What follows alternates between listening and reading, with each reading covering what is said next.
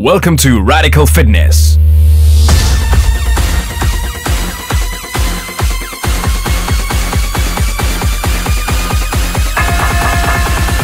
Turn the freaking bass up.